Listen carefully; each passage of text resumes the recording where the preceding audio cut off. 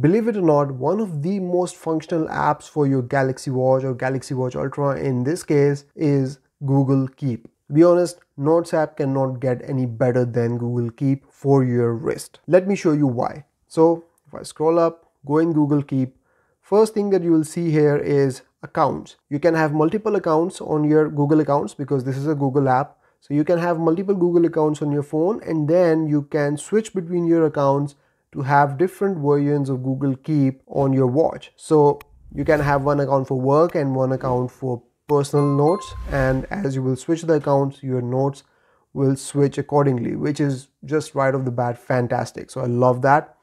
And then let's go and tap plus button. So it gives you two options. You can create a note or you can create a list. Now creating a note is simple. You can say whatever you want to say here add it so you can add the reminder here. So we have got some already saved options. But the thing is that you cannot change the time. You cannot customize the time here any further. So this is what you get. If you want to customize the time more you can do that from the keep app on your phone.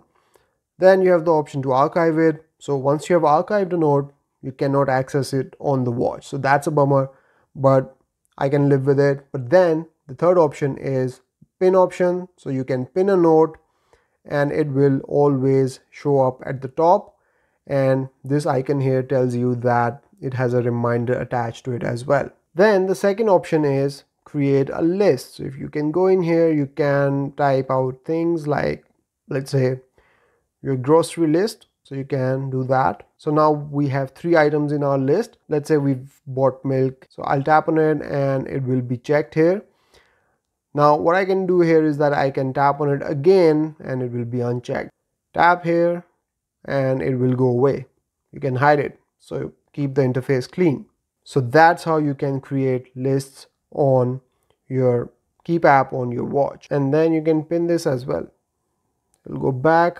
It will be a pin note. So this way you can have these options, these notes, these little notes pinned in the Keep app you can add reminders to them, you can archive them, keep the interface clean.